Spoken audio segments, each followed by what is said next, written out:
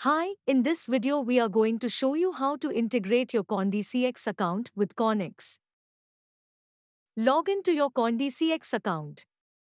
Click on Orders History from the Orders drop-down menu on the top right. Select the Order History menu on the left-hand side. Here in the top right corner, you can see a Download CSV option. Download the file. Now go to Wallet History and download the CSV file from the Deposit section. Then go to the Withdrawal section and do the same. Now log into your KoinX account. Then select Exchanges from Dashboard.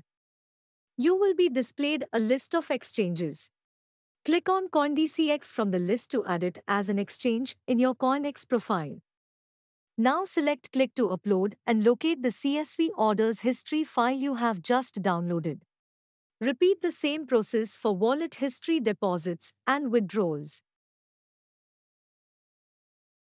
After you have uploaded all the files, select Submit and you are done.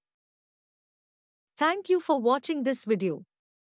For more content like this, please subscribe to our channel and follow us on LinkedIn, Twitter, and Instagram.